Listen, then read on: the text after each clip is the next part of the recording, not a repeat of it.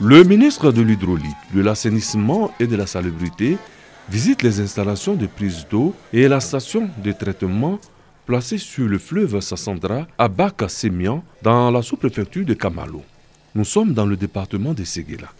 Le ministre Boaké Fofana, qui avait à ses côtés le préfet de région Nouorodougou, une forte délégation est venue s'assurer de la bonne exécution des travaux réalisés dans le cadre du projet de renforcement de l'alimentation en eau potable de la commune de Séguéla et des localités environnantes. C'est une visite de routine parce que c'est un chantier qui a commencé depuis quelques temps où nous prenons de l'eau ici dans le Sassandra, de l'eau brute que nous traitons et que nous emmenons jusqu'à Séguéla pour desservir les populations. C'est un projet qui est quasiment terminé. Donc je suis venu faire le point de sorte à informer notamment M. le Premier ministre s'il est prêt vraiment à être inauguré. La station de traitement d'eau va desservir les villages situés sur le tronçon Bakassemian-Séguéla, soit environ 67 km de canalisation qui seront raccordés. Euh, la capacité de production est de 400 000 litres par heure. Nous avons posé les conduites de tout diamètre confondu, variant de, 400 mm à, 500 mm, d'environ 66,900 euh, km pour pouvoir arriver à Séguéla. La construction de la station de production d'eau potable de Séguéla d'un coût d'environ 17,9 milliards de francs CFA fait partie d'un projet de renforcement de l'alimentation en eau potable de 12 villes de Côte d'Ivoire. Le coût total de ce programme national qui vise à améliorer l'accès à l'eau potable à 3 millions d'habitants est estimé à 170 milliards de francs CFA.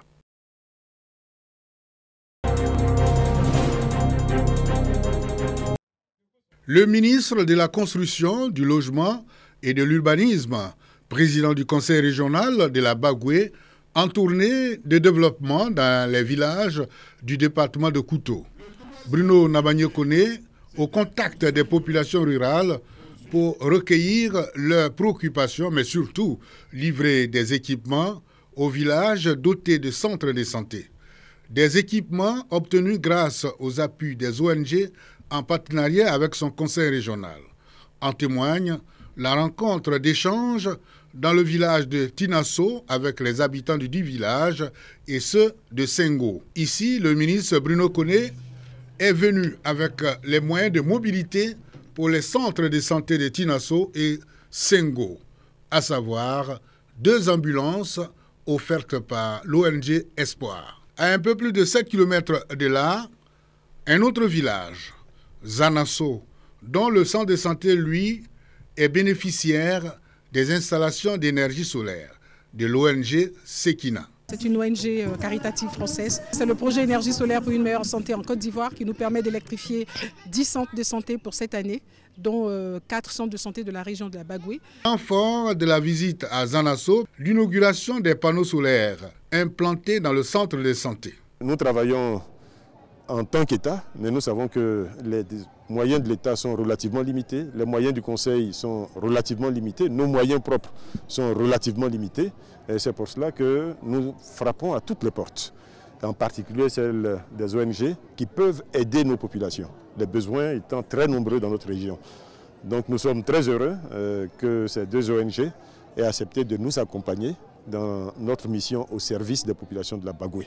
Le président du conseil régional de la Bagoué, qui se veut un manager déterminé à œuvrer pour le bien-être des populations de la Bagoué, entend poursuivre sa tournée de développement dans les autres localités de la région.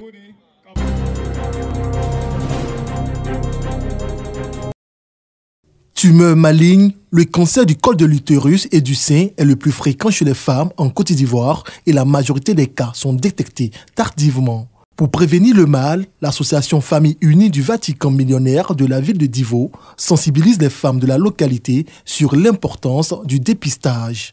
Cette maladie, c'est un tueur vraiment silencieux. On marche avec, on se promène avec. Généralement, nous, les Africains, lorsqu'on n'a pas très mal, on n'est pas alité, on ne va pas à l'hôpital. Oh, on doit se faire dépister. Mariam, mère de deux enfants, atteinte du cancer du sein depuis 2020, témoigne de l'impact négatif de cette maladie. Je suis à ma quatrième chimiothérapie. C'était le cancer du sein, sein droite. Quand ils m'ont enlevé le sein droite, Après, je vais en, contrôle, on me dit non, ça a pris le deuxième sein. Ça a pris le poumon, ça a pris la colonne vertébrale. Donc actuellement, j'ai fait une troisième chimiothérapie qui coûte 3 500 qui n'est pas encore soldée. Et on me propose encore autre chimiothérapie pour la colonne vertébrale. S'il vous plaît, prenez soin de vous. Ce n'est pas une petite maladie, c'est un long parcours. Les témoignages éveillent les consciences de la centaine de participantes venues assister à cette conférence. Après avoir écouté la sensibilisation sur le cancer du col de l'utérus, j'ai retenu que c'est une maladie vraiment très grave qu'il ne faut pas négliger. Pour cela, vraiment, j'ai retenu qu'il faut se faire dépister très tôt pour éviter le pire. Il y a énormément de femmes qui souffrent en silence et en tant que fils de, toutes ces femmes, je pense qu'il était opportun qu'on puisse participer à cette cérémonie-là femmes.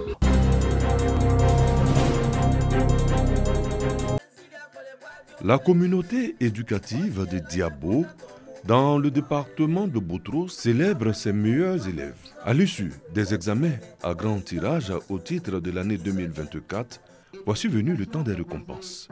Une cérémonie de distinction en présence des autorités locales, acteurs du système éducatif, parents et amis.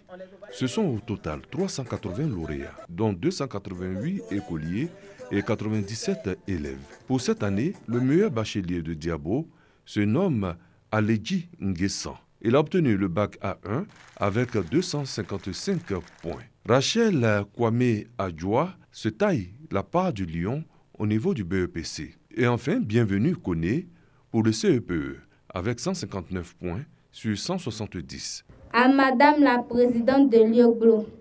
Merci d'être un modèle pour nous les élèves du GLO et surtout les hommes de jeunes filles. À Monsieur le parrain, cher papa, merci pour tout ce que vous faites pour la jeunesse estudiantine et scolaire du GLO. Une initiative de l'Union des élèves et étudiants GLO, en abrégé UE GLO, qui vise à récompenser les élèves les plus méritants et a suscité une saine émulation chez les apprenants. L'UEGLO rêve d'un canton GLO où règne l'excellence, gage de la construction d'une région prospère et développée. Le parrain de la cérémonie, Jacques Assaoré Kona, président du conseil régional de Béquet, félicite les apprenants pour leur abnégation afin qu'ils continuent de donner le meilleur d'eux-mêmes. Cultiver l'excellence, qui est un credo du chef de l'État lui-même.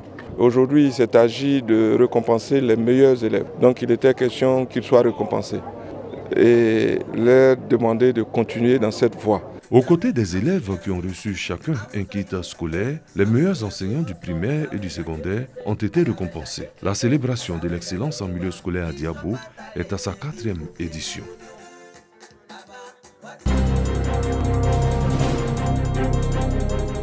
Bende village chef-lieu du canton d'Ong, dans le département de Boaké, région de Gbeke.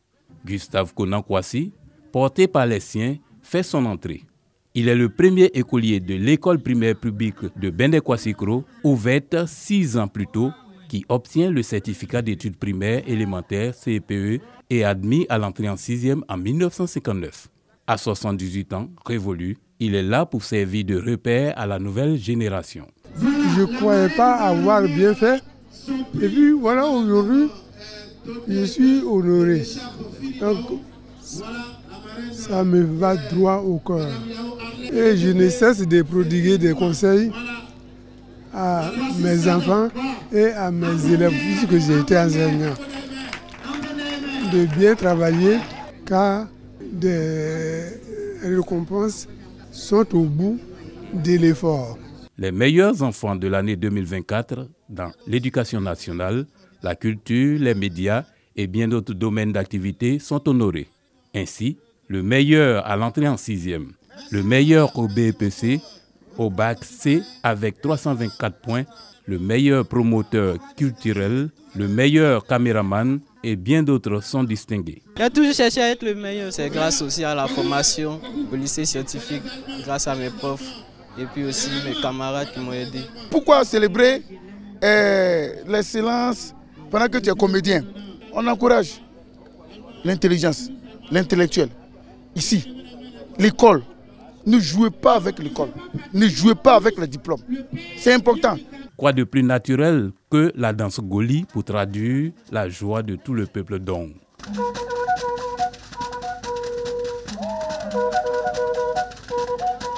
Message à l'ensemble de la jeunesse. Message d'ardeur au travail. Message de sérieux au travail. Message de probité et de persévérance. Pour que les jeunes qui vont certainement prendre notre relais soient bien formés pour servir la Côte d'Ivoire au plus haut niveau. Les organisateurs de cette célébration s'engagent à l'institutionnaliser pour inculquer la culture de l'excellence dans tout le canton afin d'impulser son développement.